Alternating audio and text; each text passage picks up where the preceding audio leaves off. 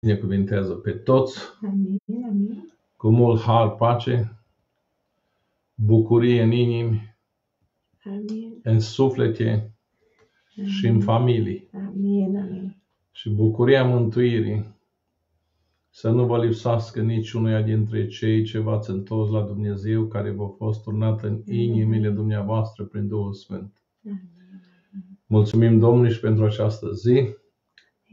Ziceam cu vreo două episoade în urmă că n-am să mai intru anul acesta, că poate frață, surorile, unii s-au săturat poate atâtea mesaje, dar dacă Domnul ne-a mai dat sănătate și putere, ne-a păstrat cu pace, Amin. avem pace, dragii mei, în locurile în care locuim, Amin. este un har. Și mai mult ca atât, dacă avem pace în inim, e și mai mare har și cea mai mare binecuvântare. Amin. Și în această zi, cu ajutorul Domnului, aș vrea să vă vorbesc și să vorbesc tot despre nașterea Domnului. Și chiar vorbeam cu soția mai înainte. Noi vorbim pentru că oamenii, să știți că unii au dreptate. Cam ținem și noi unele obiceiuri. Și suntem acuzați că poate mergem așa ca lumea. Dar ar, m-aș ruga Domnului să dea Dumnezeu toate obiceiurile bune să le facem. Și Domnul Iisus avea obicei. După obiceiul său, o intra când în templu, când într-o casă. Și mă rog Domnului să ne ajute, dragii mei, în zilele acestea, să dăm dovadă că suntem copii ai lui Dumnezeu răscumpărați prin jertfa Domnului Isus Hristos. Mântuiți prin acest Mântuitor care s-a născut. Noi sărbătorim și la unii, unii se îmbolnăvesc când aud lucrurile acestea, că pomenim cuvântul acesta, sărbătorim, că nu scrie în Biblie. Păi dacă nu scrie în Biblie de sărbătoarea Domnului Isus Hristos, o sărbătorim, înseamnă că nici n-ar trebui să vorbim de nașterea Domnului, mergem direct la jertfa Domnului sau la înviere numai.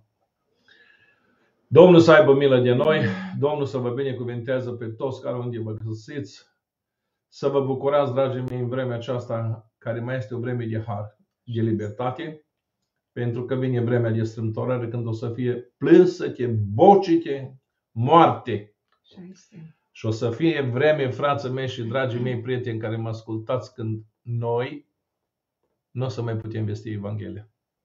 Ce e scris în Apocalipsa că va veni vremea când un înger al lui Dumnezeu va zbura prin ceruri cu Evanghelie veșnică să o vestească locuitorile pământului.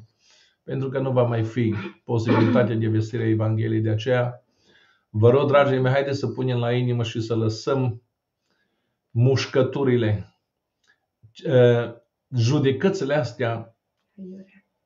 care, care, care n-au niciun sens, nimic scriptural. Domnul să ne ajute să ne judecăm pe noi înșine și să vedem dacă ceea ce facem, facem bine. Sau dacă avem ceva de spus unui frate, să spunem cu dragoste. Dar nu cu ceartă și cu ură și cu mânii. Eh, Nu mă dau mai departe, poate am să mai amintesc câteva lucruri în privința aceasta. Ce se întâmplă printre noi? Am văzut, de exemplu, ieri, printre americani, un color, brad din ăsta color, cum, le zice, cum zic ei înșiși, colorat, sau uh, black people, adică negri, cum folosim noi în limba noastră românească, numai dacă folosești cuvântul ăsta pentru ei aici, intrăm în probleme. Am văzut cum vorbea și acuza și m-am îngrozit, frații mei, în unele aspecte în predica lui, bineînțeles vorbea în engleză, dar m-am îngrozit și am văzut că în unele uh, afirmații pe care le făcea frații noștri, unde au ajuns în ziua de astăzi pocăința unora, ce își permit să facă, spunând că sunt mântuiți, eu m-am îngrozit. M-am îngrozit, a intrat o groază în mine. Și stau și mă juc de pe mine de atâtea ori și mă rog Domnului de multe ori să nu mă lase Dumnezeu să mă pierd și să fie lupta mea în zadar sau vestirea cuvântului să folosească la mântuirea altora și noi să ajungem să ne pierdem. Să ne păzească Dumnezeu de lucrul acesta. Aș vrea, o să ne rugăm Domnului, dar ca să puteți să aveți timp să vă uitați în Scriptură, am să citesc din Luca, capitolul 2, de la versetul, citesc numai versetul 12. Pagina în Biblie 987, ca să aveți timp să vă familiarizați dacă vreți să deschideți și să mă urmăriți. Și apoi voi eh, citi în continuare versetele de aici din Luca de la 8 în jos și voi vorbi din cuvântul Domnului despre lucrurile pe care Domnul mi le-a pus pe inimă să le vorbesc. Iată semnul după care îl veți cunoaște. Veți găsi un prunc înfășat în scutece și culcat într-o iesle.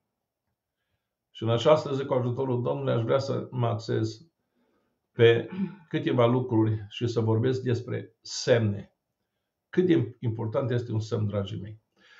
Uh, aș vrea să ne plecăm capetele și ne rugăm Domnului prin sora mea nevastă, Oltea. Domnul să o binecuvintează și să ne binecuvintează pe toți. Cerem binecuvântarea Domnului, dragii mei, și uh, cum v-am spus de atâtea ori, alții să bizui ca o înțelepciune, au pricepere, au școli. Eu mă bizui pe Domnul.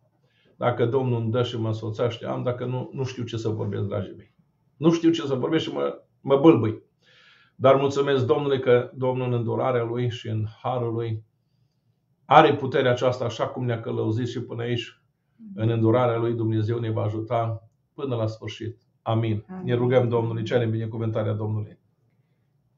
Tată, venim înaintea Ta să-ți mulțumim și pentru această zi, Doamne, care a adăugat-o vieții noastre, Doamne. Nu că am avea noi merite, Doamne, ci bunătatea Ta, Doamne, se noiește față de toți locuitorii pământului în fiecare dimineață. Și ți-o noiești și pentru noi, copiii Tăi, Doamne, care ne-ai răscumpărat prin jertfa din Calvar. Îți mulțumim, o Doamne, căci harul Tău ne este îndeajuns, Doamne. De nu ne-ai fi iubit Tu întâi, de nu ai fi venit să ni te descoperi, Doamne, și să ne dai și darul credinței, Doamne. Poate niciodată n-am fi ajuns unde suntem, Doamne, dar îți mulțumim, o Doamne, pentru dragostea Ta, că ce tins inimile noastre, Doamne, de ai dat darul credinței, să credem în Tine și puterea Ta divină, slavă Doamne. Ție, Dumnezeu, Lăudăm și preamărim numele Tău, Tatăl nostru, care ești în ceruri. Laud și preamăresc numele Tău, Doamne. Suntem aici pe pământ, copiii ai Tăi, Doamne, în întreaga lume care căutăm, Doamne, căutăm să găsim adevărul, Doamne, căutăm să umblăm după sfântă voia Ta. Și chiar dacă sunt atâtea diferențe, Doamne, atâtea feluri de gândire, Doamne, că și Tu ne-ai creat pe toți atât de diferit, o Doamne, Iisuse. Îți mulțumim cu un singur lucru avem în comun și aceasta este jertfa Ta.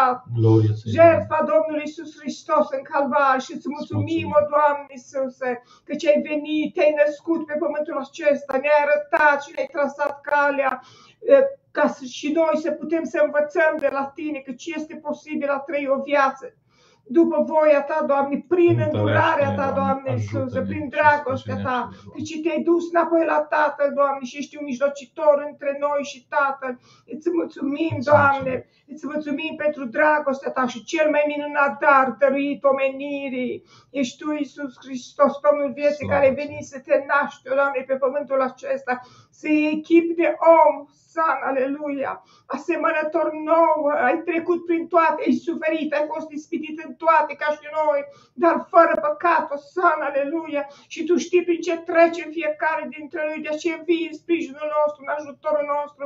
Îți mulțumim, iubitele îți Mântuitor, mulțumim. îți mulțumim, Tată, pentru dragostea ta. Slabă ți Doamne. Deci prin Domnul Isus Hristos ne-ai reprimit, o Doamne, în brațele tale. Te laudăm și îți mulțumim, o Doamne. Te rugăm să binecuvântezi, o Doamne, și ziua de astăzi, lucrarea care Amin. se face, Doamne. Tu ești Domnul care ai toată puterea în cer și pe pământ. Te rog, sfințește vasele noastre, Amin, Doamne. Doamne Binecuvântează-ne și la această zi, Doamne. Amin. Lasă ungerea Duhului Tău cel Sfânt peste Amin. noi, Doamne. Amin. În vorbire, Doamne, în rugăciune, în cântare, Doamne. Amin. Binecuvântează frații și surorile care Amin. și prietenii care au început să ne urmărească, să vor vedea acest, acest live, Doamne, în, în în viitor, Doamne, te rog, fie ca Duhul Tău cel Sfânt să cerceteze inimile Da, Doamne. și sămânța semănată să ajungă, să aducă rod și rodul să rămână până la coacere. Și aceasta este lucrarea Ta, Duhului Sfinte. Te rog pe Tine, Doamne, Iisus, ajută-ne, Doamne, ca să putem să semănăm sămânța, Doamne, căci aceasta este voia Ta. Căci dacă venirea Ta nu întârzie, întârzie încă cum credem noi, Doamne, nu întârzie, ci este din pricina dragostei Tale, care dorești ca toți oamenii să vină la pocăință, Amin, Doamne, Doamne, că mai și mult. de aceea mai aștept să mai dai răgazul oamenilor să se întoarcă la Tine. Fie-ți milă. Doamne, te rog pe Tine, ajută-ne, trezește mintea sănătoasă și în lucrurile care poate nu umblăm după voia Ta, Doamne, te rog, ghitează-ne, condu-ne, cercetează-ne, Doamne, călăuzește-ne și ajută-ne, Doamne, să căutăm voia Ta și să o facem, Doamne.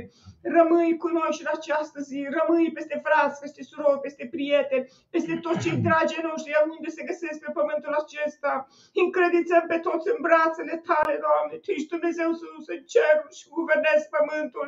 Noi suntem aici și depindem de Tine, cum depind copiii Da, de Doamne. mama lor, așa depindem și noi de Tine, Doamne.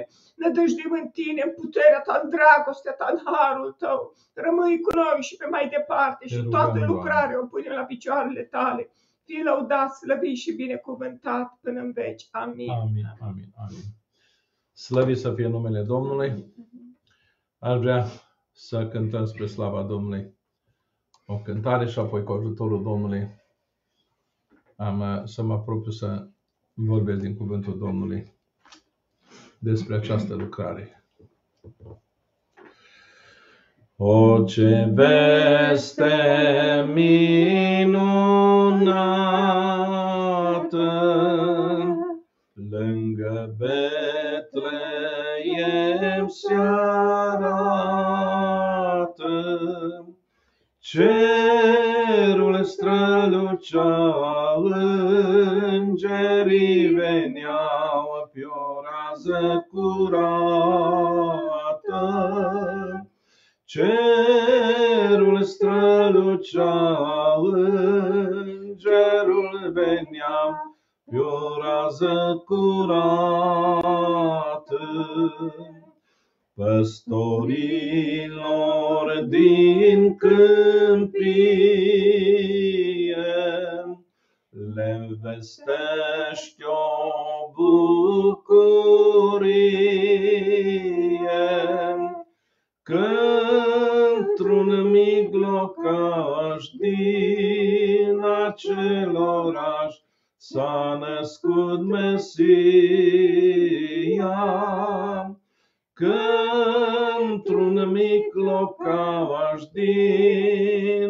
din acel oraș s-a născut Mesia. În coliba păstoriască, Bruta Domnul să se nască. Fiul său cel sfânt nouă pe pământ să ne mântuiască. Fiul său cel sfânt nouă pe pământ să ne mântuiască. E Iisus păstorul mare, turmă ca El nimeni n-are. Noi îl lăudăm și ne închinăm cu credință mare. Noi îl lăudăm și ne închinăm cu credință mare. Amin, amin, amin. Glorie Domnului! Frumoasă cântare, frumoasă colindă și slăvit să fie numele Domnului. Mi-am adus aminte de un verset din uh, Psalmul 107, unde cuvântul Domnului spune de la versetul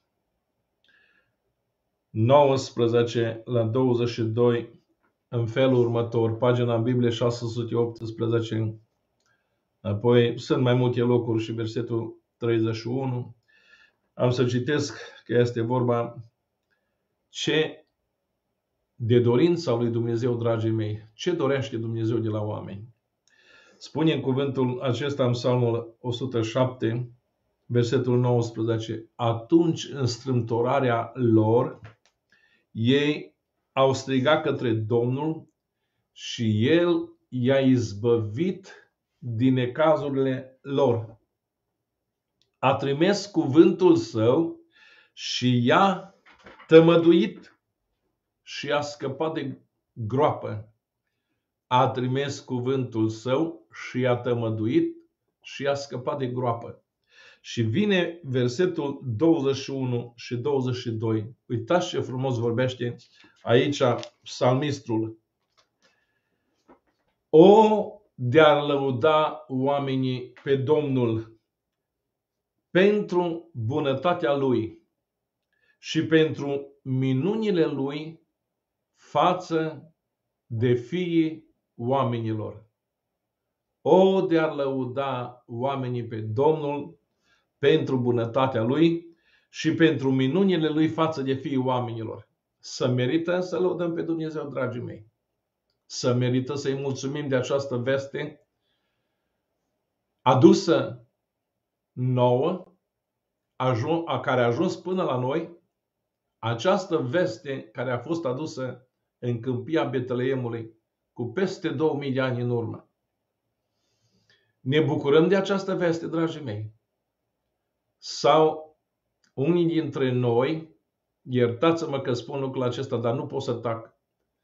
Atâta mâncărime am văzut între creștini și aș vrea să vă sfătuiesc, dragii mei, să vă opriți în a vă bacjocori unii pe alții și să nu vă ispitească diavolul și să vă biruiască întrecându-vă în neprihănire neștiind care sunteți mai sfinți decât ceilalți.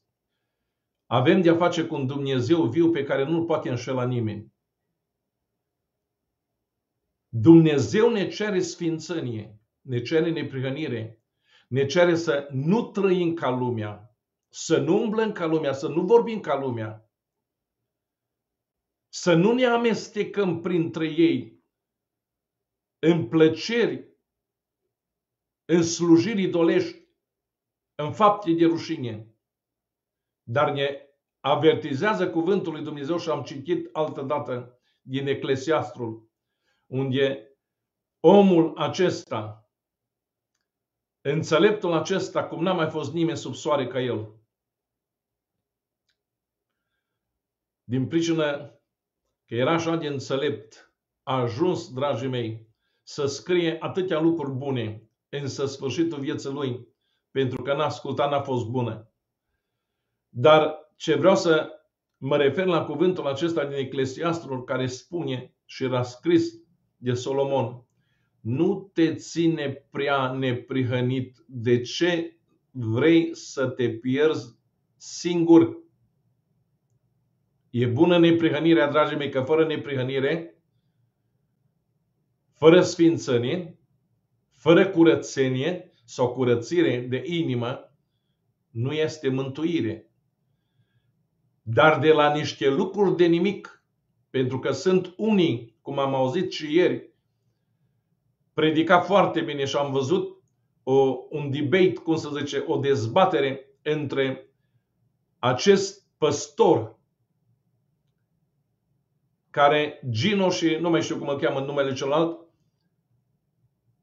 avea o discuție în public în biserica lui între el și între un musulman între un islamist care spunea că el este capul lui Hristos. Că el sau lui îi se supun toți. Și el este deasupra tuturor profeților. Și mi-a plăcut foarte mult discuția aceasta în public, l-a lăsat să vorbească pe musulmanul acesta, un om înțelept, încă vorbea și cu lacrimi. Și mi-a răspuns răspunsul, mi-a plăcut răspunsul acestui păstor. Așa fac unii dintre noi în vremea aceasta, dragii mei, care vestesc Evanghelia, mai ales pe bani, storc lacrimi, dar viața e departe de trăirea adevărată după cuvântul lui Dumnezeu și înșală pe mulți. Și de aceea vorbesc cu durere când văd printre noi, dragii mei, că să mănâncă creștin pe creștin și nu mai știu care vor ajunge în împărăție. Să ridică la o statură și nu știu ce zice Dumnezeu despre sfințenia celor ce fac lucrul acesta. Când privești cu dispreț pe fratele tău și te vezi atât de sus, atât de neprihănit că nu te poți duce la aceeași adunare, nu te poți duce la rugăciune să te închini cu semenul tău, crezând că ești atât de neprihănit că când te vede dracu fuge. O, Doamne, ai milă de noi. Revin la versetul 22, care spune în felul următor din Psalmul 107. Să-i aducă jertfe de mulțumire și să vestească, auziți? Să vestească lucrările lui cu strigăte de bucurie. Să vestească lucrările lui, ale lui Dumnezeu, cu strigăte de bucurie. Haideți, frații mei, să facem lucrul acesta. Cei ce iubiți pe Domnul și cunoașteți cuvântul lui Dumnezeu. Ne rugăm Domnului să ne dea înțelepciune, să știm cum să ne purtăm unii cu alții și față de cei din jurul nostru. Să nu fim pricini de păcătuire și să nu trăim o viață ca lumea. Domnul să ne ajute să fim sfinți, cum El însuși este sfânt. Pentru că ne-a sfințit Dumnezeu și ne-a curățit prin jertfa Domnului Iisus Hristos. Dar ne cere să trăim această viață sfântă și curată înaintea lui Dumnezeu.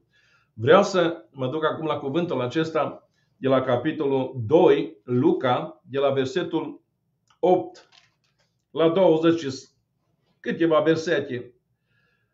Și am să citesc așa încetul cu încetul câte câteva versete și apoi uh, voi vorbi pe marginea celor citite. În ținutul acela erau niște păstori care stăteau afară în câmp și făceau de straje noaptea în prejurul turmei. Și iată că un înger al Domnului s-a înfățășat înaintea lor și slava Domnului a strălucit în prejurul lor. Ei s-au înfricoșat foarte tare. Ei s-au înfricoșat foarte tare. Știți că ne spune cuvântul Domnului, bucurați-vă tremurând? Ne cere Dumnezeu să ne temem de Dumnezeu să ne temem, să nu păcătuim, să nu-L întristăm, pentru că Dumnezeu a fost bun și este bun cu cei ce trăiesc în necunoștință și ori de câte ori să întorce unul la Dumnezeu, Dumnezeu îl iartă, iartă tot trecutul.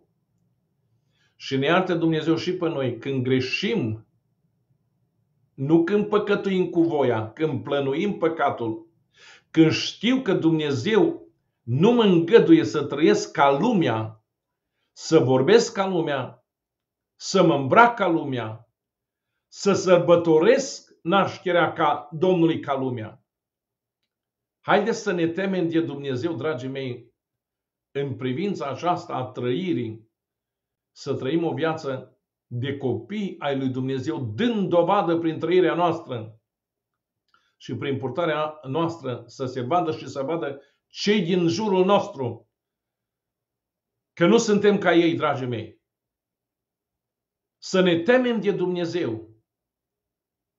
Să ne ajute Domnul să facem lucrul acesta, dragii mei, cu curăție de inimă. Dar îngerul le-a zis, versetul 10, nu vă temeți că își va aduc o veste bună, care va fi o mare bucurie pentru tot norodul. Vedeți, dragii mei, am citit în Psalmul 107 și au fost niște cuvinte așa de frumoase, dragii mei. În versetul 22 spunea cuvântul Domnului în felul următor. să aducă jertfe de mulțumiri și să vestească îndurări, lucrările lui cu strigăte de bucurie. Aici, versetul acesta spunea, dar îngerul le-a zis, nu vă temeți că vă aduc o veste bună, care va fi o mare bucurie pentru tot norodul. A fost o mare bucurie, dragii mei. Vestea nașterii Domnului, dar interesant lucru, că vestea aceasta n-a adus-o lui Irod. N-a adus-o împăratului. Nu s-a dus la palat îngerul Domnului, ci s-a dus în câmpie la cei mai de jos oameni. Cum auzeam pe cineva vorbind zilele trecute, de lucrul acesta și menționa. Poate sunt în vremea asta joburi sau servicii uh, considerate foarte josnice și nu oricine le face, dar sunt unii oameni simpli care pur și simplu poate n-au ce face sau nu le pasă de viață. Și lucrează numai să-și câștige o bucată de pâine sau, eu știu, să aibă de o țuică, de o bere, de o... face orice lucru. Oamenii aceștia erau considerați cei mai de jos oameni. Și Hristos s-a coborât prin Fecioara Maria și s-a născut într-o iasle, dragii mei, într-un grajd. Pentru că la hanul de poposire nu era loc. Cuvântul spunea că își va aduc o veste bună care va fi o mare bucurie pentru tot norodul. Dacă ne ducem în Matei, capitolul 2, spune cuvântul lui Dumnezeu de la versetul 1 în jos. După ce s-a născut Isus în Betleemul din Iudeea, în zile împăratului Irod, iată că a venit niște magi la răsărit, din răsăriți la Ierusalim și au întrebat, unde este împăratul de curând născut al iudeilor, fiindcă i-am văzut să au răsărit și am venit să ne închinăm lui. Unde este steaua? S-au dus la Ierusalim, la cei mari, la cei înțelepți. Ce a produs vestea aceasta lui Rod și întregul Ierusalim? Uitați ce spune versetul 3. Când a auzit împăratul Irod acest, acest lucru, s-a tulburat mult și tot Ierusalimul s-a tulburat împreună cu el. N-a fost o veste bună pentru Irod și pentru mai mari lui. Pentru cei ce guvernau, pentru cei ce conduceau țara. O tulburare, diferență între două categorii de oameni. Oameni, cum spune aici, că va fi o mare bucurie pentru tot norodul. Și dincolo am citit în Matei 2 cu 3, când a auzit împăratul Irod acest lucru, s-a tulburat mult și tot Ierusalimul s-a tulburat împreună cu el. Ce ți aduce vestea nașterii Mântuitorului, dragul meu ascultător? Te bucuri de această veste bună trimisă de Dumnezeu prin înger păstorilor cu peste 2000 de ani în urmă. Te bucuri știind că Dumnezeu te vrea să te întorci, să te pocăiești, să te lași de viața ta murdară pe care o trăiești, de viața aceasta care te desparte de Dumnezeu pentru vece vecilor, dacă nu-i răspuns chemării care să face în această zi. Mă rog, Domnule, să fie o veste bună pentru dumneavoastră care mă ascultați și pentru tineri și tinere și mai vârstnici. Domnul să se îndure și să dea mântuire, slăvit să fie numele lui Dumnezeu. Iată în O poruncă pe care o dăduse Domnul Isus Hristos.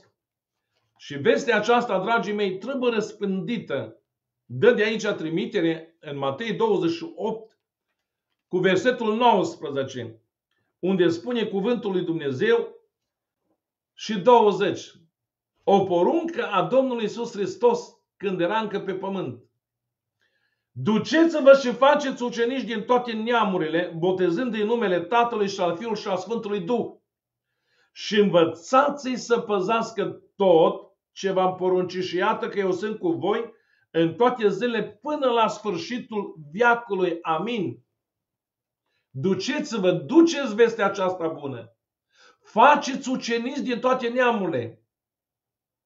Așa se întorc cu oamenii la pocăință prin vestire a cuvântului Dumnezeu. Vestea aceasta bună a mântuirii, dragii mei, a fost adusă de îngeri păstorilor din câmpia Betleemului. Spune cuvântul lui Dumnezeu, versetul 11. Astăzi în cetatea lui David vi s-a născut un mântuitor care este Hristos Domnul. Slăvit să fie numele lui Dumnezeu. El este singurul și unicul mântuitor prin care avem mântuirea, dragii mei. Iertarea păcatelor, intrarea slobodă în împărăția lui Dumnezeu. În Coloseni avem trimitere de aici, din uh, capitolul acesta, de unde am citit, de la versetul 10, și 11, în Coloseni, capitolul 1, versetul 19, jos până la 23, vreau să citesc. Căci Dumnezeu, pagina în Biblie 1155, căci Dumnezeu a vrut ca toată plinătatea să locuiască în El și să împace totul cu sine prin El. Auziți ce zice în continuare? Atât ce este pe pământ, cât și ce este în ceruri, făcând pace prin sângele crucii lui. Să împace totul cu sine. Vă aduceți aminte de rugăciunea Tatăl nostru? Oare de câte ori ne rugăm rugăciunea aceasta, dragii mei?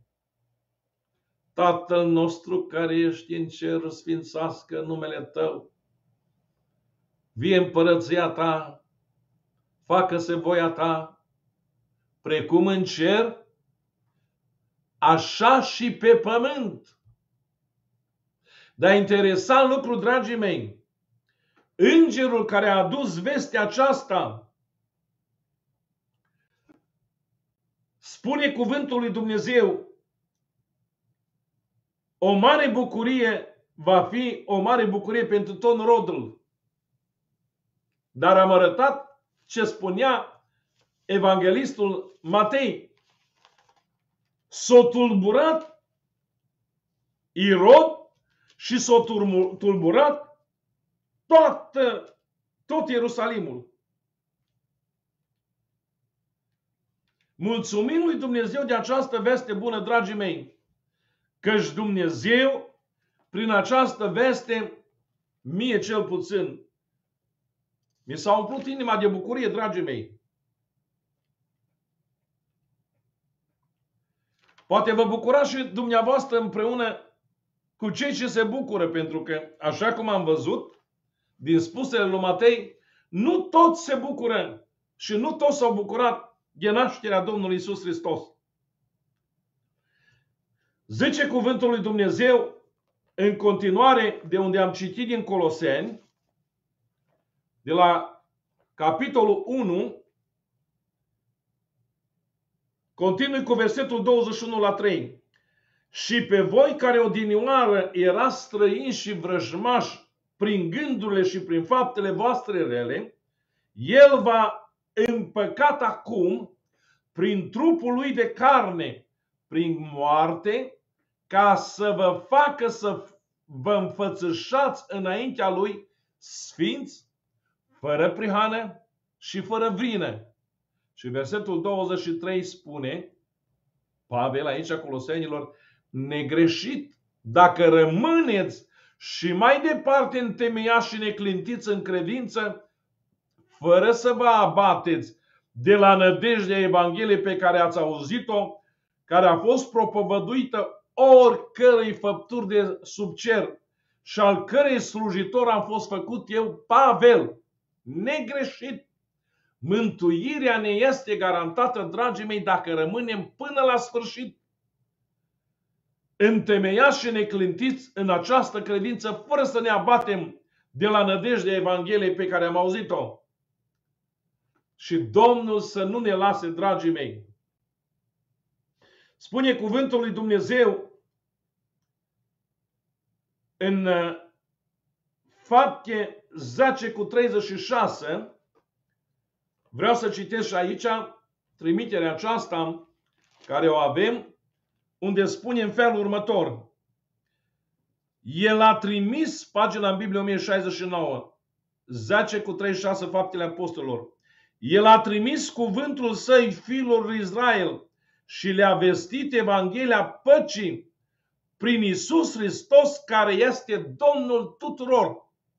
El le-a trimis cuvântul său fiilor lui Israel și le-a vestit Evanghelia păcii prin Isus Hristos care este Domnul tuturor.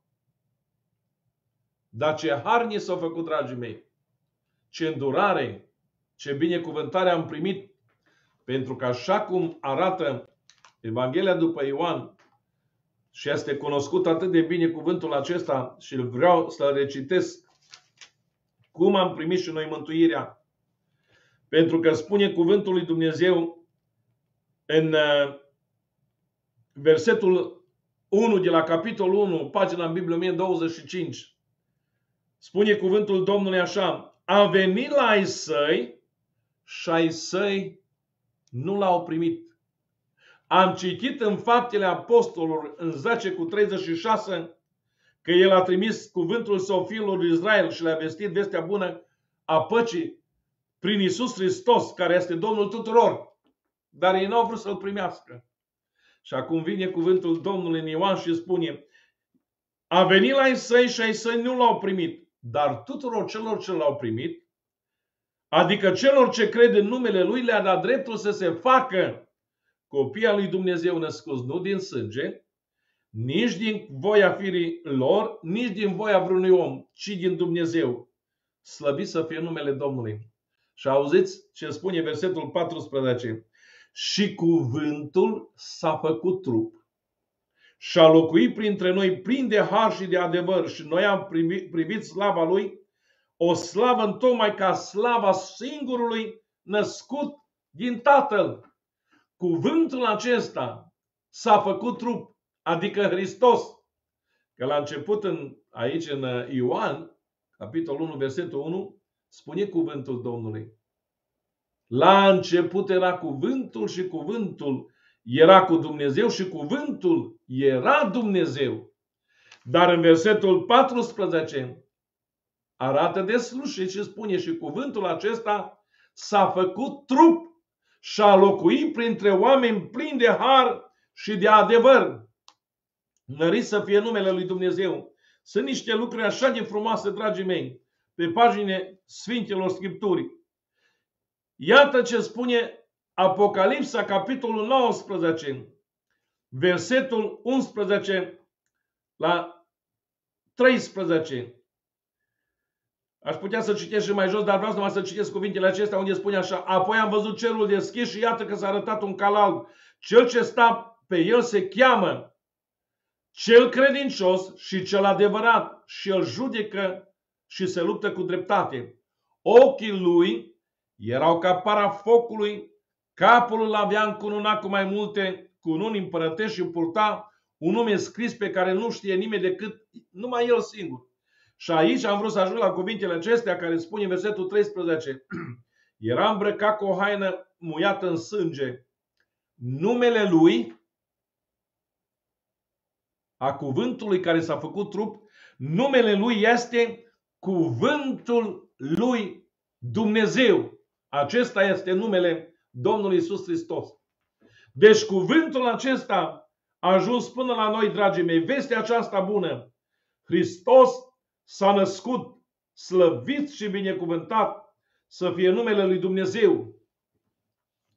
Mulțumim Domnului, dragii mei, de această dragoste și iubire arătată nouă Pentru că ne-a chemat Dumnezeu în bunătatea Lui și în harul Lui și ni s-a descoperit și nu ne-a lăsat să rătăcim prin lumea aceasta, ci ne-a smuls ă, din groapa pe ei s-au plecat înspre noi, dragii mei. Așa au făcut cu mine și așa cred că au făcut cu dumneavoastră, cu mulți.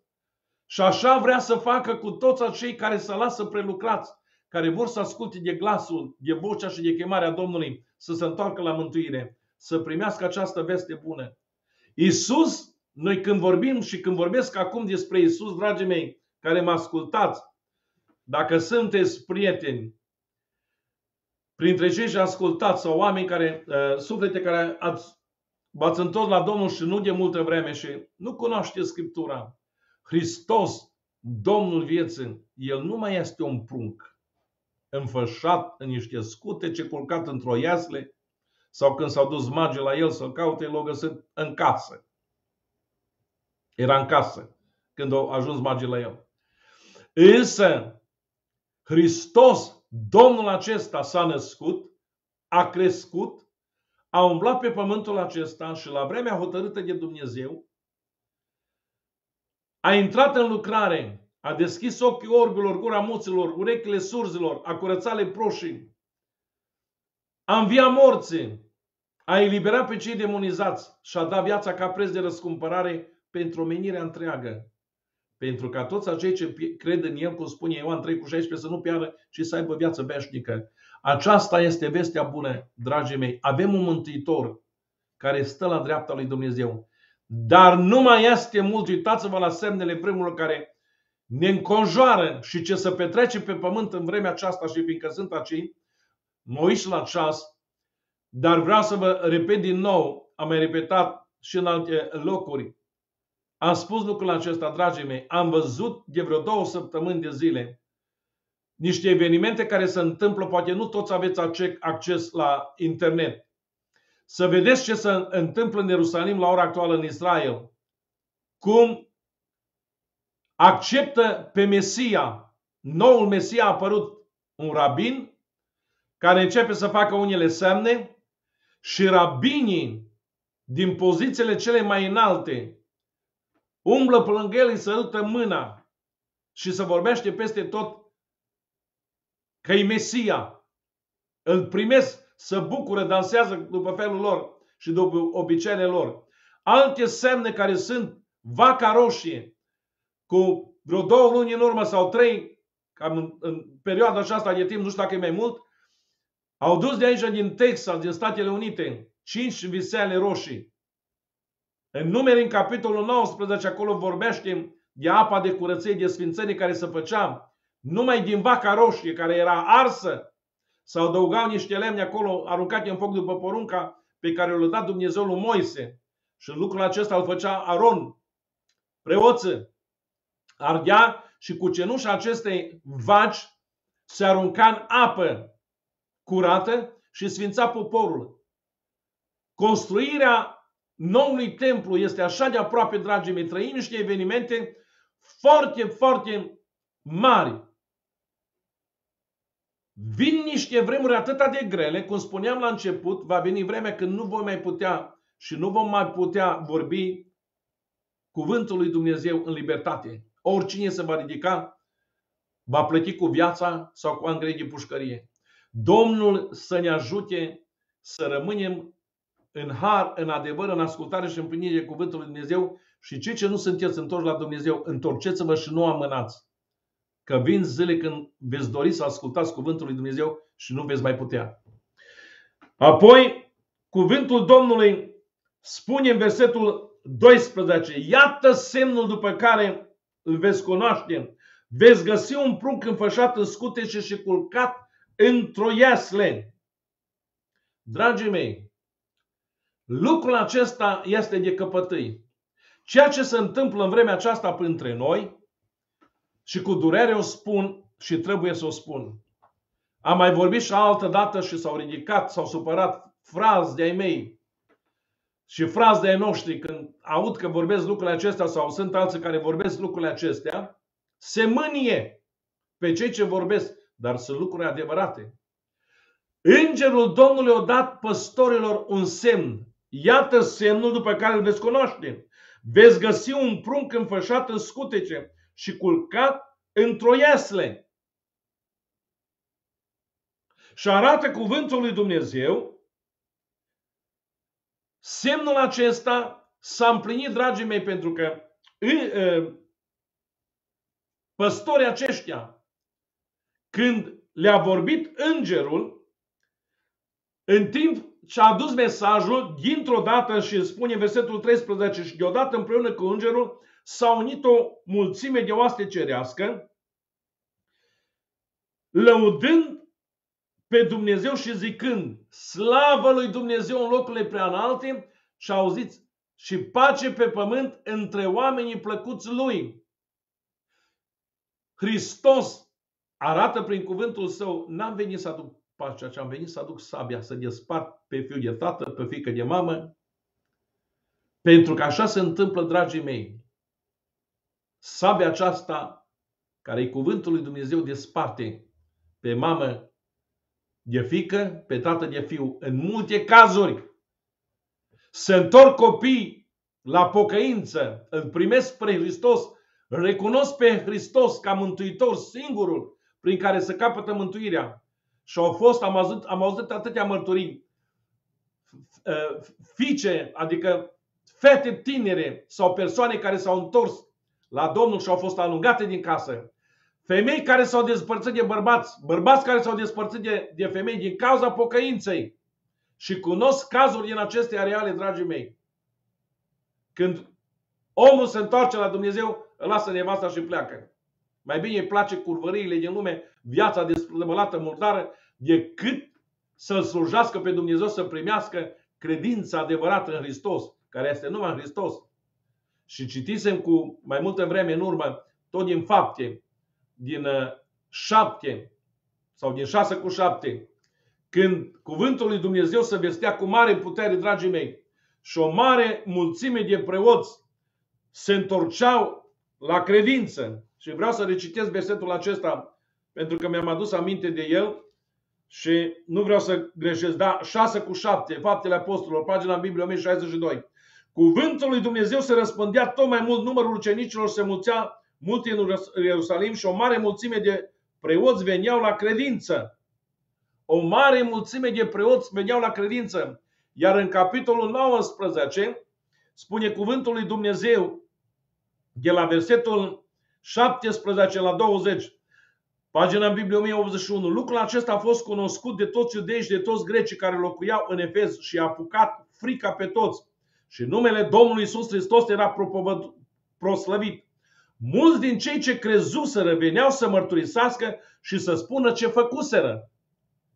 Și auziți ce zice versetul 19. Și unii din cei ce făcuseră vrăj, sau din cei ce făcuseră vrăjitorii, și-au adus cărțile și le-au ars înaintea tuturor. Prețul lor s-a socotit la 50.000 de arginți. Cu atâta putere să răspândea și se întărea cuvântul Domnului cu semne și cu minuni. Preoții se întorceau la credință. Așa spune versetul 7 din capitolul 6, fapte. Credința adevărată este cea care e în Hristos Domnul. Apostolul Iacov ne arată în, în cartea sa. Și dragii cred și să înfioară, dragii mei. Și urmează puncte, puncte. Dar nu fac voia lui Dumnezeu. Nu ajunge să crezi. Marcu spune în capitolul 16 cu, cu 15 cu 16 acolo. Cine crede și se botează e mântuit. Cine nu, e osândit. În 16 cu 15, Marcu. Apoi le-a zis, duceți-vă în toată lumea și propovădiți Evanghelia la orice făptură. Cine va crede să va boteza, va fi mântuit. Dar cine nu, va fi osândit. Și auziți ce scrie în continuare. Iată semnele. Semnele astea trebuie urmărite, dragii mei. Vorbeam de semne și am văzut atâtea lucruri printre noi.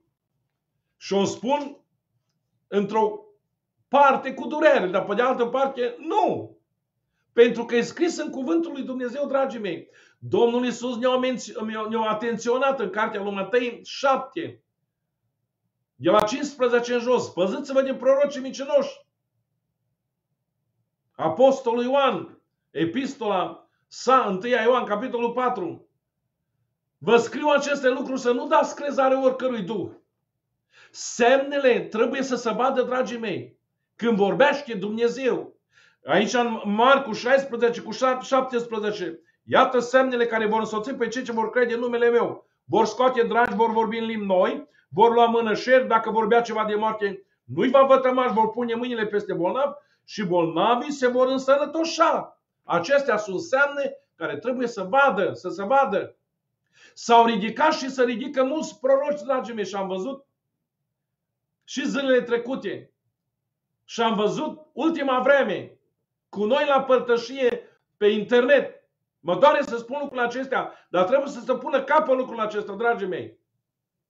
Se ridică oameni din îndrăzneală, plini de râvnă, fără înțelepciune, fără Duhul lui Dumnezeu. Ne zic că au Duhul lui Dumnezeu. Păi dacă ar avea Duhul lui Dumnezeu, ar trebui, când vorbește, și vorbește despre o descoperire prin cunoștință, prin prorocie, prin vedenie, să se vadă, să se cunoască cu adevărat că vorbește Dumnezeu. Uitați-vă ce spunea, pentru că suntem și vorbim despre semne, dragii mei. Vom ajunge și la semnul cu Domnul Isus, cu păstorii. În a doua împărați, capitolul 7, s-a întâmplat o lucrare extraordinară. Ce înseamnă o prorocie și ce înseamnă să vorbească Duhul lui Dumnezeu, să fie un proroc al lui Dumnezeu. 396. Elisei, capitolul 7 de la versetul 1. Elisei a zis, ascultați cuvântul Domnului. Așa vorbește Domnul. Ce vorbea Dumnezeu prin Elisei? Era o prorocie, o profeție, era o foamete de nedescris în Samaria. Și el spune, mâine la ceasul acesta se va vinde la poarta Samariei o măsură de floare de făină cu un ciclu și două măsuri de ors cu ciclu, cu un ciclu. Și auziți, bajocoritori, cârtitori, cum vreți să-i numiți? Oameni care nu cred, necredincioși. Nu înseamnă că dacă asculți de cuvântul lui Dumnezeu și ascultăm de cuvântul lui Dumnezeu, sfaturile care ni le-a dat Isus, Domnul însăși și apoi apostolii care l-a iubit pe Dumnezeu și au ascultat de Dumnezeu mai mult decât oameni și unii au plătit-o cu viața. Și mă miră faptul că și printre proroci, în loc să vegheze asupra cuvântului lui Dumnezeu, dacă vorbește cineva de proroci într-o biserică, să supără frață. Și mai ales cei ce au prorocii. În loc să întărească și să vegheze, să nu se strecoare proroși micinoși, învățători micinoși printre noi, unii se supără. Dragii mei, nu trebuie așa lucrat cu lucrarea lui Dumnezeu. Dumnezeu ne-o chema la sfințenie, ne-o chema la, la, la slujire, la apărarea Evangheliei, la apărarea lucrărilor lui Dumnezeu, dragii mei. Domnul să ne lumineze și să ne dea puterea lucrul acesta. Uitați-vă ce spune cuvântul Domnului, versetul 2. Călărețul, pe brațul căreia se rezăma împăratul, a răspuns omului Dumnezeu. Chiar dacă ar face Dumnezeu ferestre în ceruri, în cer, cum s-ar putea întâmpla un asemenea lucru? Cum s-ar putea întâmpla? Și Elisei i-a zis, vei vedea cu ochii tăi, dar tu nu vei mânca din ele. Când vorbește Dumnezeu, trebuie să cunoști. Trebuie să știi că vorbește Dumnezeu. Trebuie avut grijă la lucrurile acestea, dragii mei. Și uitați-vă ce vorbește versetul așa, 18, la versetul 8 și 9.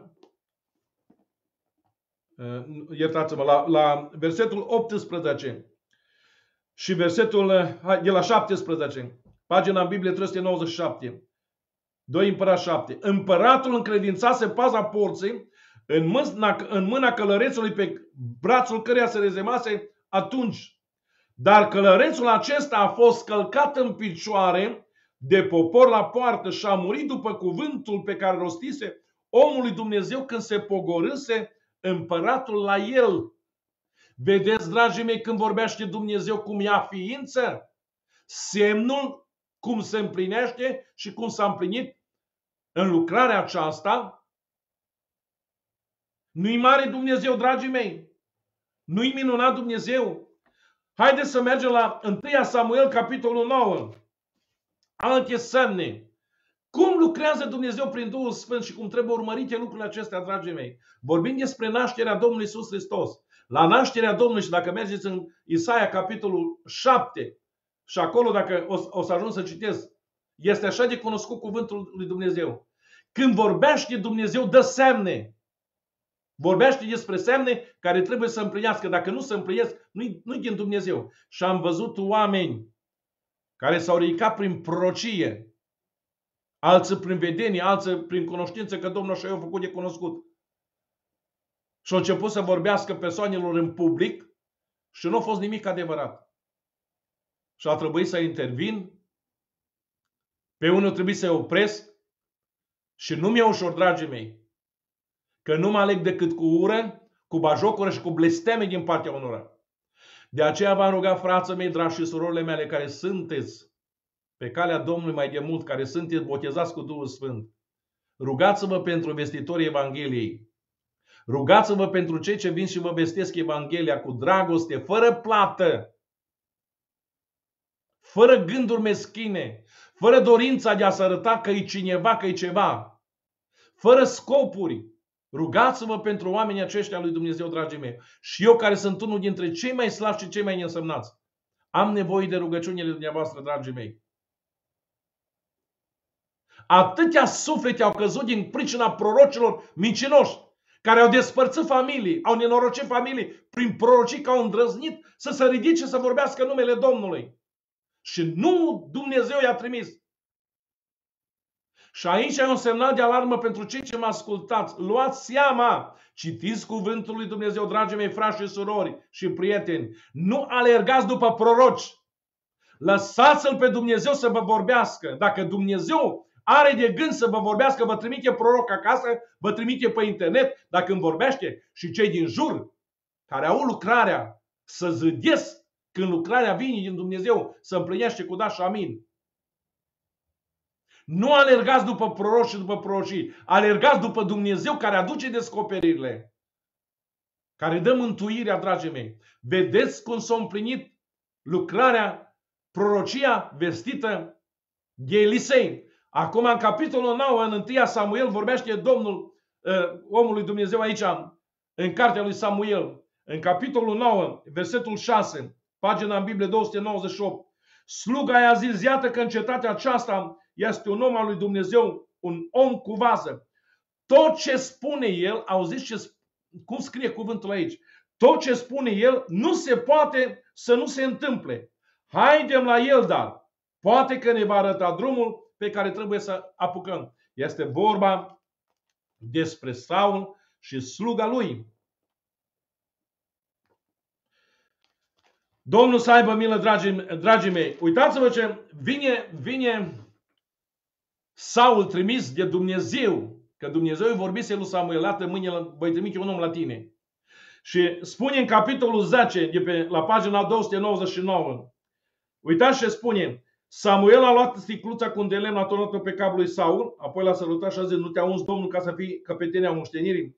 Și acum urmează niște lucruri, niște semne care le spune Samuel lui Saul. Astăzi, după ce mă vei părăsi, vei găsi doi oameni la mormântul Rahelei și hotarul, în hotarul lui Benianim la Țelțah. Ei îți vor aduce, vor zice, măgărițele pe care le, te-ai dus să le cauți s-au găsit. Și iată că tatăl tău nu se mai gândește la măgărițe, ci este îngrijorat de voi. Ce să fac pentru fiul meu? Zicea tatăl său. Apoi, alt semn. De acolo vei merge mai departe și vei ajunge la stejarul Tabor, unde vei fi întâmpinat de trei oameni, suindu-se la Dumnezeu în Betel și ducând unul treiez, altul trei turte de pâine, iar altul un burduf de vin. Versetul 4. Ei te vor întreba de sănătate și îți vor da două pâini pe care le vei lua din mâna lor. Ăsta era sfatul și profeția cu privire la Saul din partea lui Dumnezeu care vorbea prin Samuel. Versetul 5. După aceea vei ajunge la Ghibea Elohim, unde se află garnizoana filistenilor. Când vei intra în cetate, vei întâlni o ceată de proroci, pogorându-se de penălțime pentru jertfă, cu lăute, timpane, fluire și cobze înainte și prorocind. Duhul Domnului va veni peste tine, vei proroci cu ei și vei fi prefăcut într-un alt om. Și auziți ce spune cuvântul lui Dumnezeu. Când ți se vor împlini semnele acestea, fă ce vei găsi de făcut, căci Dumnezeu este cu tine. Și toate semnele acestea s-au împlinit cu da și amin, dragii mei. Toate semnele acestea care le-a vorbit uh, Duhul lui Dumnezeu, Dumnezeu prin Samuel, cu privire la Saul, toate s-au împlinit. Cu da și amin. Aici ne vorbește cuvântul lui Dumnezeu și am zis că vreau să citesc din Isaia, cu toate că se cunoaște lucrul acesta, dragii mei, atât de bine. Isaia, capitolul 7, versetul 11 și 10. Cere un semn de la Domnul Dumnezeul tău, cere-l fie în locurile de jos, fie în locurile de sus. Și Ahaz nu vrea. Vine versetul 14. De aceea Domnul însuși va, va da un semn. Iată, fecioara va rămâne sărcinată, va naște un fiu și va pune numele Emanuel. Dumnezeu este cu noi. Mărit să fie numele lui Dumnezeu, frații mei. Glorie lui Dumnezeu. Nu-i minunat Dumnezeu, dragii mei? Vrem să ascultăm de ceea ce ne învață cuvântul lui Dumnezeu? De ceea ce ne vorbea însăși gura Domnului Isus Hristos? Vrem să ascultăm mai mult de El decât de oameni? De cine îi teme mai mult? De bajocura, de ocările, de disprețurile oamenilor? Vă aduceți aminte de Mica, fiul lui Imla, în, în, în împărat, arată cuvântul lui Dumnezeu și spune. Era un proroc care nu s-a dus la întâlnire, la întrunire. Și acolo erau 400 de proroci de-a lui Bal. Aha, vrea să meargă la luptă. Iosafat s-a unit cu el. Și vai ce supărat a fost Dumnezeu pe el, pe Iosafat. Așa facem și noi. Și asta ne învață lumea. A doua Corinteni, capitolul 6, versetul 17. Nu vă înjugați la un jug nepotrivit cu cei necredincioși. Așa ne învață cuvântul lui Dumnezeu. Nu știu cum ați sărbătorit unii dintre dumneavoastră sărbătoarea aceasta a nașterii Domnului, cu toate că s-a aflat și se cunoaște, dragii mei, că nu a fost nașterea Domnului în luna decembrie. Dar noi o sărbătorim orică ar fi în vară, orică ar fi în primăvară, orică în iarnă. Noi sărbătorim venirea Domnului Isus Hristos în lume și îl binecuvântăm pe Dumnezeu pentru planul acesta de mântuire pe care l-a alcătuit în Hristos Domnul. Mărit să fie numele Lui Dumnezeu. Oastea cerească, dragii mei, ă, îngerii aceștia care arată cuvântul lui Dumnezeu în Daniel în 7 cu 10, spune cuvântul lui Dumnezeu 7 cu 10.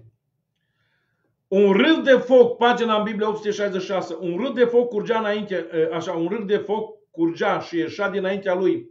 Mii de mii de slujitori slujau și de zece mii ori zece mii stăteau înaintea lui. S-a ținut judecata și s-au deschis cărțile. Mii și mii de mii. Cine le poate socoti numărul? Așa e oastea aceasta cerească, îngerii aceștia, dragii mei, care slujesc lui Dumnezeu și ascultă de glasul lui Dumnezeu. Uitați-vă în întâia ă, la Evrei, capitolul 1, cu versetul 14, ne dă un cuvânt aici și vreau să-l citesc, unde spune cuvântul lui Dumnezeu în felul următor. Ce rol joacă îngerii aceștia? Care e menirea lor? Uitați-vă ce spune, citesc și versetul 13. și căreia dintre îngeri, pagina în Biblie 1175, și căreia dintre îngeri a zis el vreodată, șez la dreapta mea, până voi pune pe vrăjmașii tăi ascendentul picioarelor tale. Și versetul 14. Ce vorbește Dumnezeu de îngerii aceștia care au coborât, s-au unit cu îngerul care le-a dus vestea. Astăzi în cetatea lui David vi s-a născut un mântor care este Hristos Domnul. Și au început să cânte, să laude pe Dumnezeu. Care e slujba îngerilor? Versetul 14. Nu sunt oare toți slujit, duhuri slujitoare trimese să îndeplinească o slujbă? Auziți? Pentru cine lucrează? Pentru cei ce vor moșteni mântuirea? E semnul întrebării. Nu sunt oare toți duhuri slujitoare trimise să împlinească o slujbă pentru cei ce vor moșteni împărăția? Îngerii lui Dumnezeu, dragii mei, tăbărăsc în jurul celor ce se tem de Dumnezeu și scapă din primejdie. Așa spune și Psalmul 34. Îngerul Domnului tăbărește în jurul celor ce se tem de el și scapă din primejdie. De multe ori vine norocirea peste cel neprănit, dar Domnul întotdeauna îl scapă din ea. Slăbit să fie numele lui Dumnezeu. Apoi, în cartea Apocalipsei, la capitolul 5, cu versetul 11, vreau să citesc și aici cuvintele acestea, care sunt așa de, de, de minunate, dragii mei. Auziți ce spune cuvântul lui Dumnezeu? Citesc de la versetul 10. Ai făcut din ei o împărăție și preos pentru Dumnezeul nostru și ei vor împărăți pe pământ. Acum, versetul 11. M-am uitat și în prejurul scaunului de domnie și în jurul făpturilor vii și în jurul bătrânilor am auzit glasul multor îngeri. Numărul lor era de 10.000 de ori 10.000 și mii de mii. Puteți să le numărați. Eu nu știu. Că dacă ar da un număr de 10.000 ori 10.000 ori 10.000 sau 100 de mii, poate s-ar putea calcula. Sunt unele calcule care se pot face. Dacă îmi spune cuvântul lui Dumnezeu, numărul lor este de 10.000 de ori 10.000 și mii de mii. Câte mii? Nu știm. Și eu nu cunosc lucrul acesta. Slăvit să fie numele lui Dumnezeu. Uitați ce făceau aceștia. Versetul 12. Ei ziceau cu glas tare, vrednic este mielul care a fost junghiat să primească puterea, bogăția, înțelepciunea, tăria, cinstea, slava și lauda. Și pe toate făpturile care sunt în cer, pe pământ, sub pământ, pe mare și tot ce se află în aceste locuri, le-am auzit zicând, acelui ce șade pe scaunul de domnie, adică a lui Dumnezeu, și a mielului să fie lauda, cinstea, slava și stăpânirea în vecii vecilor. Și cele patru făpturi viu, vii ziceau amin. Și cei 24 de bătrâni s-au aruncat la pământ și s-au închinat înaintea celui ce este viu în vecii vecilor. Slăvit să fie numele Domnului. Îngerii, dragii mei, trimiși de Dumnezeu să aducă vestea. Și prin înger Dumnezeu va trimite la vremea hotărâtă să strângă pe toți credincioșii lui de pe fața pământului. Sunt sunt lucruri foarte frumoase. Nu ne încape timpul și n-aș vrea să se obosească cei ascultând cuvântul acesta lui Dumnezeu. Sunt lucruri foarte, foarte frumoase. Îl lăudăm și îl binecuvântăm pe Dumnezeu. Nu uitați, dragii mei, pacea aceasta, cum am citit în versetul 14,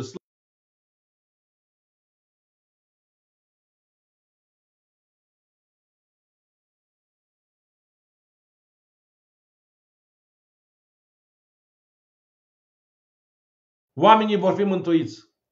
Trebuie să mă opresc, cred că să, să întrerupe transmisiunea. Nu știu dacă mă mai auziți.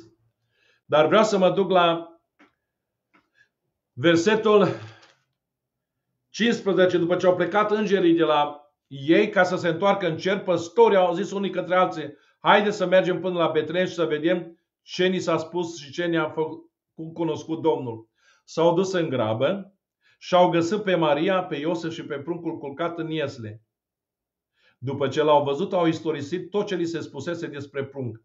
Toți cei ce i-au auzit s-au mirat de cele ce le spusese păstorii. Vedeți, dragii mei, scuzați-mă, aș vrea să vă întreb cei ce m-au zis dacă se aude, că s-a întrerupt aici la mine și am crezut că s-a întrerupt transmisiunea. Uh, vedeți, dragii mei, datoria noastră, dragii mei, Dumnezeu ne-a chemat, dacă ne-a chemat la mântuire și ne s-a descoperit, nu avem voie să tăcem. Datoria noastră ca credincioși, ca oameni mântuiți prin jertfa Domnului Isus Hristos, prin primirea în inimile noastre a Domnului ca Domn și împărat ca mântuitor. Prin El, dragii mei, avem viața veșnică și dacă Dumnezeu ne-a făcut bine, ne-a răscumpărat, ne-a mântuit și noi suntem datori să ducem vestea bună altora, să spunem altora că vine mânia lui Dumnezeu, vine judecata lui Dumnezeu. Când Dumnezeu va pedepsi pământul acesta și pe toți locuitorii pământului care nu i s-au închinat, care nu l-au primit, care l-au respins și l-au băjocorit, l-au înjurat, l-au necinstit, îi va arde focul. Vor ajunge despărțiți de Dumnezeu pentru vece vecelor într-un chin care nu se poate descrie în cuvinte. Dumnezeu de asta l-a trimis, cum spune în Romani 9 și în alte locuri, în Tesaloniceni. Dumnezeu l-a trimis pe Hristos să ne scape de mânia viitoare. Întorceți-vă la Dumnezeu, dragii mei. Păstorii s-au dus să vadă, să, să cerceteze lucrarea aceasta și au găsit, dragii mei, în Betleem, l-au găsit pe Hristos, unde s-au dus în grabă și au găsit pe Maria și pruncul culcat în iasle. Auziți? Versetul 16. După ce l-au văzut, au istorisit ce li se spusese. Și vine cuvântul acesta la, în 18. Toți cei ce i-au auzit s-au mirat de cele ce spuneau păstorii. Iar versetul 19. Maria păstra toate cuvintele acestea, acelea și se gândea la ele în inima ei. Dragii mei, ce facem noi cu cuvântul lui Dumnezeu, cu descoperirile lui Dumnezeu? În versetul 51 din nou spune, în tot în capitolul 2, apoi s-a pogorât împreună cu ei, e vorba despre Dom- Domnul Isus, în templul la vârsta de 12 ani, apoi s-a coborât împreună cu ei, a venit la Nazaret și le era supus. Mamă sa păstra toate cuvintele acestea în inima ei. Ajute-ne, Domnul, dragii mei, și noi să păstrăm cuvântul acesta al lui Dumnezeu în inima noastră. E atât de minunat cuvântul acesta al lui Dumnezeu și vreau să mă opresc aici pentru că v-am spus, este foarte mult de vorbit, dar am vorbit despre somn și vreau să mai citesc câteva lucruri. Uitați-vă în Ezechiel. Ce se va întâmpla, dragii mei, în Ezechiel, capitolul 9, ce vorbea Dumnezeu de sute de ani înainte de nașterea Domnului Isus Hristos. Pagina în Biblie 809. Citesc de la versetul 4, care vreți să citeți acasă, citiți. Acolo erau niște oameni care Dumnezeu le poruncește să intre în cetate și să nimicească, să nu aibă milă. Uitați-vă ce, ce, ce spune aici, versetul 4. Domnul le-a zis, trăiești prin mijlocul cetății, prin mijlocul Ierusalimului și fă un semn pe fruntea oamenilor care suspină și gem din pricina tuturor urșunilor care se săbușesc acolo. Fă un semn pe frunte și vom vedea, v-am spus, vreau să mă apropiu cu cuvintele acestea, dar vreau din nou să accentuez semnul. Ce importanță are semnul în viața credincioșului, în viața noastră, dragii mei, în viața credincioșilor, copiilor lui Dumnezeu. Fă un semn pe fruntea oamenilor care suspină și gem din pricina tuturor urăciunilor care se săvârșesc acolo. Și au zis porunca care au primit-o din partea lui Dumnezeu, acești șase oameni. Spune cuvântul lui Dumnezeu în versetul 5. Iar celor razi le-a zis în auzul meu, treceți după el în cetate și loviți. Ochiul vostru să fie fără milă și să nu vă îndurați. Ucideți și nimiciți pe bătrâni, pe tineri, pe fecioare, pe copii, pe femei, dar să nu vă atingeți de niciunul din cei ce au semnul pe frunte. Începeți însă cu locașul meu cel sfânt. Ei au început cu bătrânii care erau înaintea templului. Nici un pic de milă nu va fi, dragii mei. Nici pentru bătrâni, nici pentru femei, nici pentru tineri și nici măcar pentru copii. Copiii aceia vor muri din pricina părinților lor, că nu se întorc la Dumnezeu. Mai citesc în uh, cuvântul lui Dumnezeu, uitați-vă ce spune Apocalipsa 9, versetul 4, 1212 pagina. Li s-a zis să nu va teme iarba pământului nici vreo verdeață, nici vreun copac, ci numai pe oamenii care n-aveau pe frunte pecetea lui Dumnezeu, adică semnul. Asta reprezenta în Ezechiel ce spunea cuvântul Domnului. Fă un semn pe frunte, pecetea. Li s-a, versetul 5, li s-a dat putere să nu-i omoare, ci să-i chinuiască 5 luni. Și chinul lor era cum e chinul scorpie când înțeapă pe un om. În zilele acelea oamenii vor căuta moartea și nu o vor găsi. Vor dori să moară și moartea va fugi de ei. Va fi, va fi o groază extraordinară, dragii mei. Și vreau să închei, mai citesc încă în uh, Timotei și cu cuvintele acestea să mă opresc cu și soția și va vorbi și ea ce va avea îndemnul. Uitați-vă ce spune a doua Timotei, capitolul 2. Este un cuvânt atât de minunat. Am să citesc de la versetul 15 la 19. Caută să te înfățușezi înaintea lui Dumnezeu ca un om încercat, ca un lucrător care n-are de ce să-i fie rușine și care împarte drept cuvântul adevărului. Doamne ajută-ne să vorbim adevărul dar să-l și trăim. Ferește-te de vorbăriile goale și lumești, că șecele țin vor înainta tot mai mult în necinstirea lui Dumnezeu. Și cuvântul lor va roade ca gangrena. Din numărul acestor sunt Imeneu și Filet, care s-au bătut de la adevăr. Ei zic că și venit învierea și răstoarnă credința multora.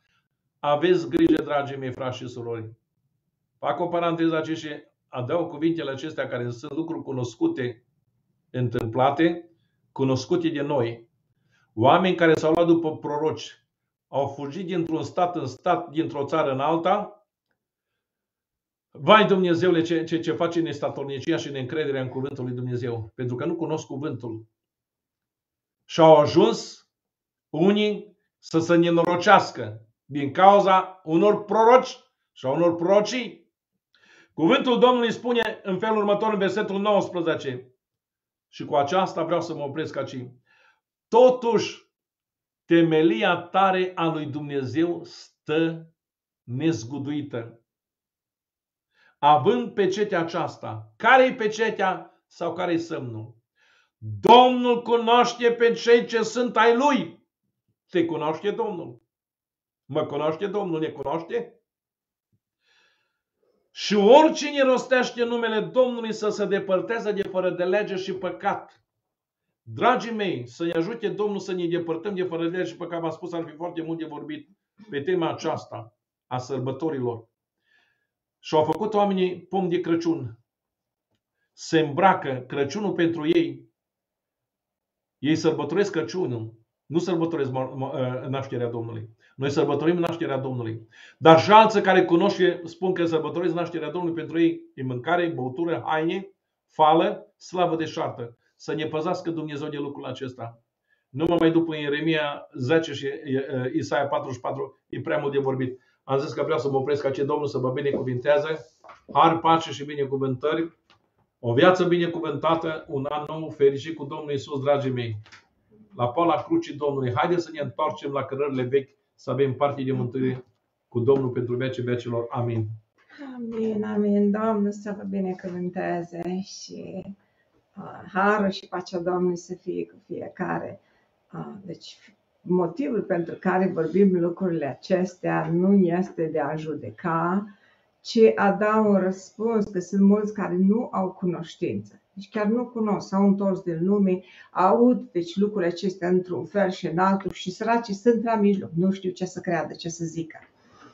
Deci rândul trecut vorbeam despre Maria, noi, special femeile, fetele, să învățăm de la personajele cu caracter bun din Biblie și de la ceilalți cu caracter rău, să învățăm să nu facem ca ei sau ca ele.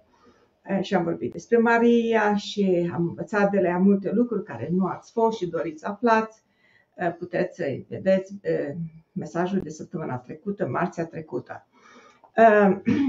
Deci, acum deci vreau un pic să, să vorbesc din punct de vedere că eu am venit din lume, cum ar veni, deci nu sunt îndoctrinată, am venit din lume și ca fiecare dintre dumneavoastră, toți avem minte că Dumnezeu așa ne-a creat, ne-a creat pe fiecare și o investit, o dat daruri bune fiecărura dintre noi. Acum, unii, din pricina lipsei de cunoștință, deci darurile lui Dumnezeu sau înțelepciunea o folosesc cu scop greșit. Dar eu venit din lume, cum am zis, de puține ori fusesem la biserică de ortodox și nu am avut cunoștințe, nu am avut uh, multe uh, lucruri să știu despre credință și așa mai departe. Și am mai mărturisit lucrurile acestea, lucrurile care le-am mărturisit, nu voi trece peste ele, dar Dumnezeu se descoperă fiecăruia, că așa zice, pe când eram încă lume răi, El ne-a iubit întâi. Deci el ne-a iubit răi cum am fost, dar suntem copiii lui. Exact, păcătoși cum am fost. Nu am avut eu mare păcate. Când mi s-a descoperit Domnul, s-au început să vorbească la, la 7, 8, 9 ani și așa mai departe. Uh, dar, deci, la 15 ani m-am început să merg la biserică, la 16 ani m-am botezat și am văzut diferența. Am început să fac diferența dintre lucrurile din biserică, casa lui Dumnezeu și de afară. Măcar că România, deci și în special ani de zile în urmă, se era socotit o țară creștină. Acum, deci ce se vedea într-o parte, ce se vedea în altă parte. Pentru mine și lucrurile acestea le-am analizat și aș ruga toți care, care treceți prin întrebări de felul acesta să luăm aminte și să spunem și altora, pentru că aceasta este voia lui Dumnezeu.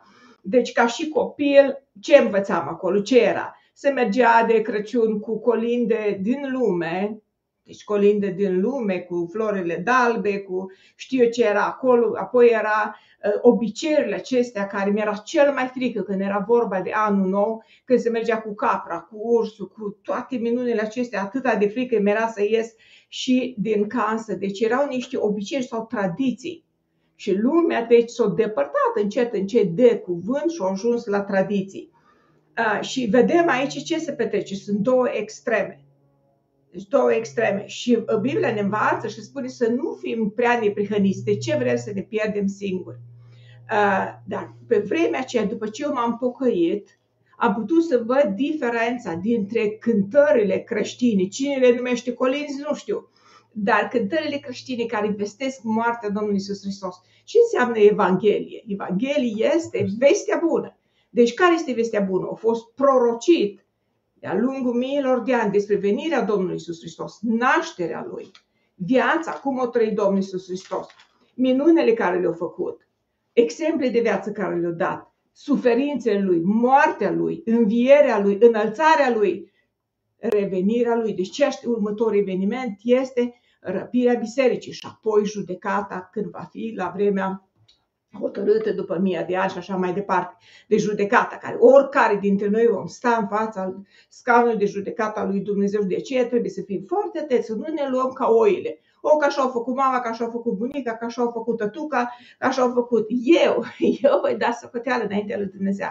Deci zile de astăzi, atunci nu era multă cunoștință, dar zile de astăzi este internet, s-au făcut descoperiri că scrie Biblia, că zile din urmă înțelepciunea va crește. Și s-a descoperit într-adevăr că Hristos nu s-a născut de ziua de Crăciun. Fai, nicio problemă. Dar Hristos s-a născut. Hristos s-a născut. Datoria noastră este nu numai de sărbătoarea nașterii Domnului Iisus Hristos, să vorbim despre ci tot timpul, dar cu cât mai mult să luăm ocazia aceasta când lumea pierde în păcat și moare în păcat, Domnul Iisus Hristos s-a dus, nu s-a dus numai între sfinți, El s-a dus și a stat de vorbă cu păcătoșii. Deci le-a explicat cum ar putea să știe cei din lume ce înseamnă adevărata însemnătatea Evangheliei și nașterea Domnului Iisus Hristos. Faptul că noi nu vorbim nimic despre lucrurile acestea. Ba tocmai, exact când este sărbătoarea, când oamenii sărbătoresc Crăciunul, că atâta știu. Noi să ne rugăm pentru ei, nu să-i judecăm, să ne rugăm că nu știu. Deci atât s-a diluat cuvântul Dumnezeu până când au ajuns aproape că Hristos nu mai există în sărbători. Totul este despre pom, este despre beteal, argintii, despre cadouri, despre tot ce vrei. Dar Hristos poate că nu mai există niciunde. Și asta e datoria noastră ca și copii al lui Dumnezeu să spunem, să vestim tuturor în jurul nostru. Unde este Hristos din sărbătoarea noastră? Fie de Paști, fie de Crăciun, fie de oricând. De ziua mulțumirii care o avem, ziua mulțumirii, devine tot ce vrei, mâncare ales și totul și poate că ne spune și noi, Doamne, mulțumim. Ori acesta e ceea ce vrea Domnul de la noi. Și tot la fel, de și la Paște, ce este vorba despre o roșie, despre ciocolăți, despre epuraj, este vorba despre suferințele Domnului Isus Hristos și chiar și ortodox și de mult. Posteau zilele acelea. Problema era că după, după post, ziua de post, venea Paște, se îmbătau și beau. Și înjurau pe Dumnezeu. Dar asta, deci nu trebuie să fim credincioși de ziua de Crăciun, de ziua de Paște sau credincioși de o zi. Și mulți ne întreabă, dar voi ce fel de pocăiți sunteți? De sâmbătă sau de duminică? Eu am spus, eu în Biblie am învățat că să fim pocăiți de fiecare zi. Fiecare zi, exact fiecare minut și fiecare oră vieții noastre, fiecare minut, noi avem de ales. Te aleg mereu, cum spune o cântare, deci avem de ales. Alegem voia lui Dumnezeu sau alegem firea pământească. Și acum, deci încă un pic vreau să, fiu, să fim foarte atenți. Deci când ne-am trăit pe vremea lui Ceaușescu în România, deci cine era? comuniștii la putere, nu? Cum și ziua de astăzi, că se cheamă comuniști, că se cheamă liberali, deci nu vor Hristos, să ne auzim. Deci, ok, oricum ar cum s-ar numi nu contează. Deci să nu se audă. Deci ce să vorbea atunci de mult? O, sărbătorile de iarnă se spuneau. Deci de ce? Să nu se pomenească nașterea Domnului Iisus Hristos. Și astăzi ce vrea lumea? Tot la fel.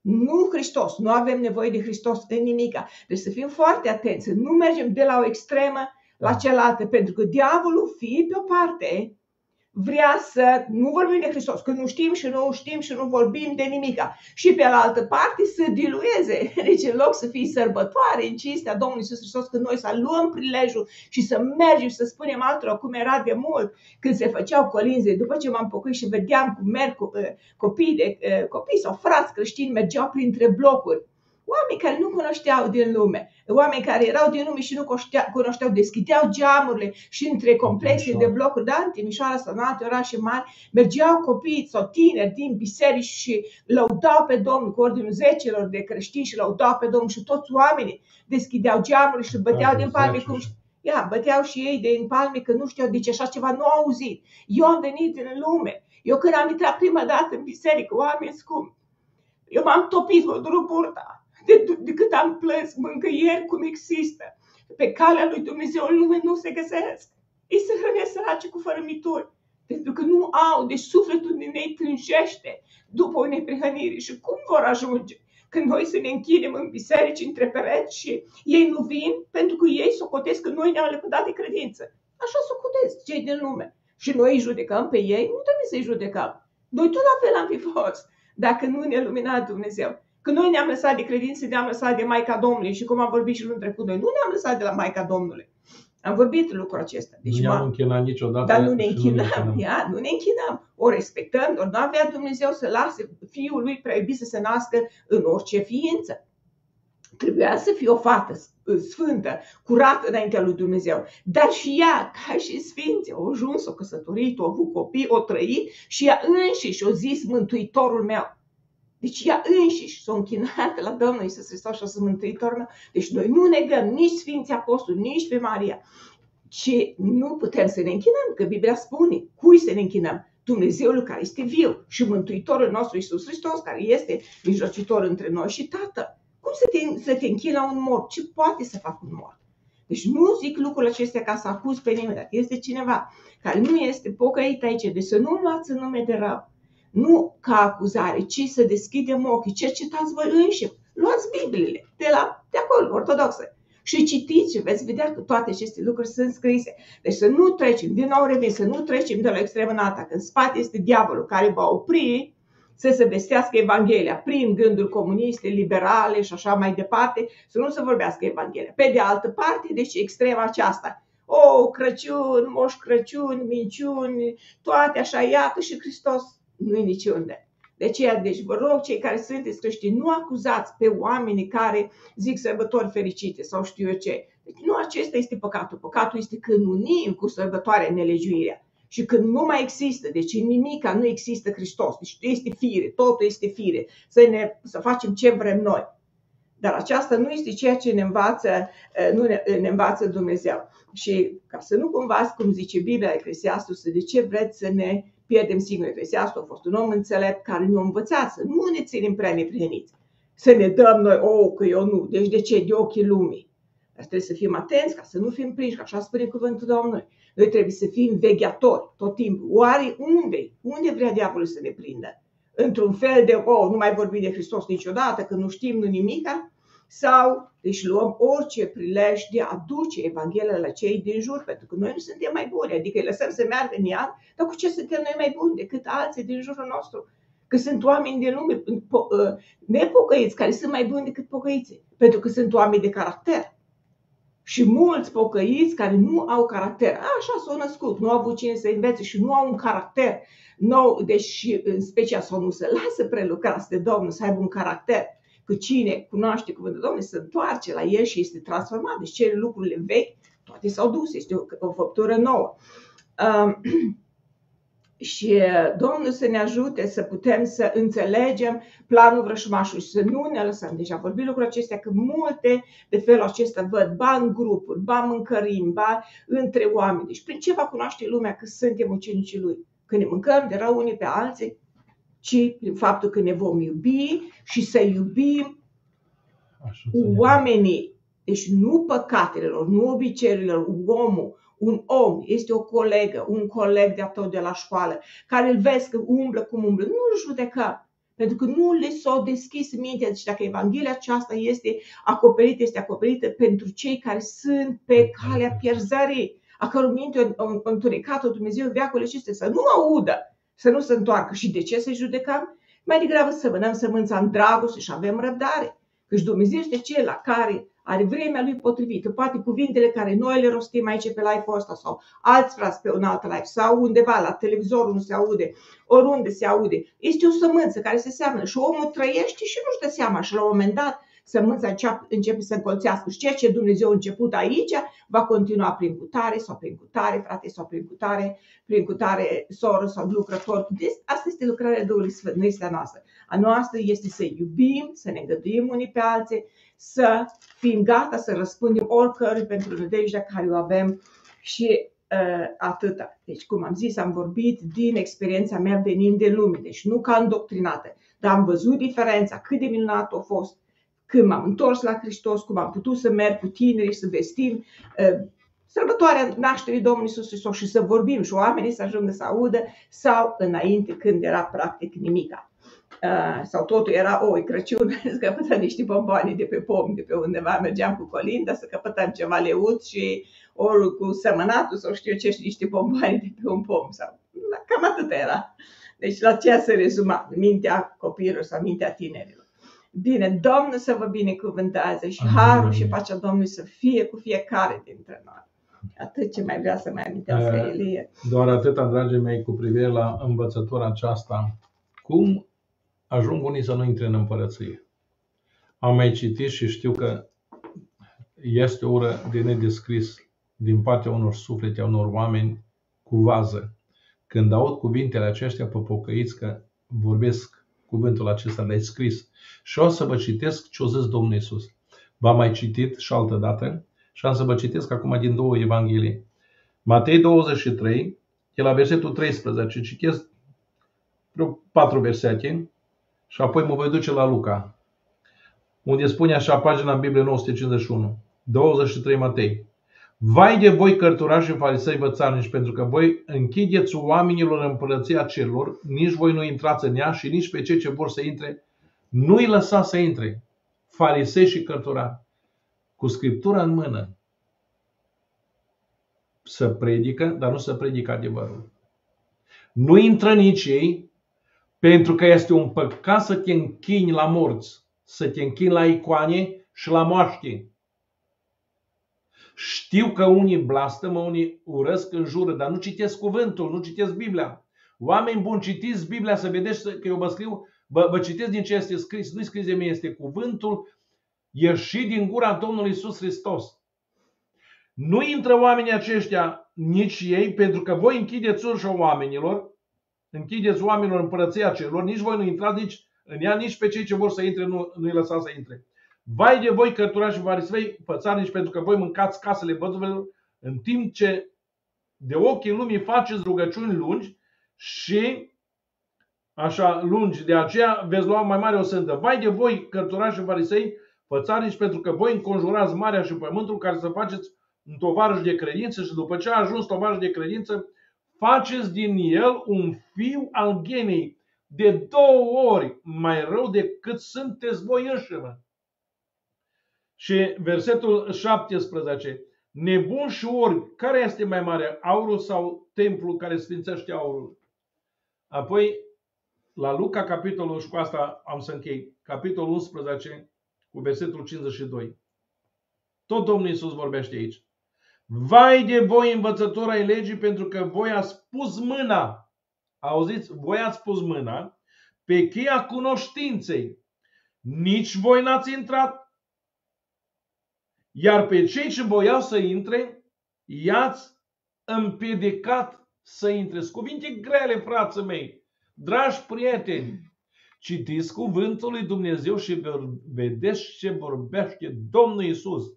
Și apoi slujitorii lui care au fost chemați să vestească Evanghelia. Fiți binecuvântați de Domnul. Ne oprim aici. Vă mulțumim de răbdarea dumneavoastră, din de lungă răbdare. Fiți binecuvântați de Domnul. Haideți să ne plecăm capetele și vreau să mulțumesc Domnului și pentru această zi binecuvântată, pentru cuvântul care ne l-a dăruit Dumnezeu, pentru tot ce ne-a dat. Să ne ajute Domnul să-L împlinim în viața noastră, dragii noștri, ca să trăim, să ne bucurăm împreună cu El. Amin. Ne întoarcem să-ți mulțumim, Tată, în numele scump al Domnului Iisus Hristos, de acest har, de această îndurare, de această libertate pe care încă ai mai lăsat-o în viața noastră, Doamne, în țările în care locuim. Doamne Dumnezeule, pace firească și pace în inimile noastre. Dar sunt atâtea suflete zdrobite, Doamne, lipsite de pace.